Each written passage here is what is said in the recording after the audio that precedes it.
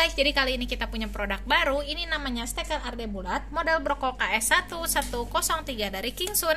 Nah, steker RD ini uh, bahannya terbuat dari bahan ABS yang tentunya lebih kuat, lebih tahan panas dan tentunya kalau kebakar ini nggak menimbulkan percikan api juga ya dan plus ini sudah berstandar SNI guys. Jadi udah pasti tidak perlu diraguin lagi kualitasnya. Tentunya dengan harga yang sangat terjangkau cocok untuk pembelian dengan kuantitas yang besar. Coba guys tunggu apa lagi? Geradi order yuk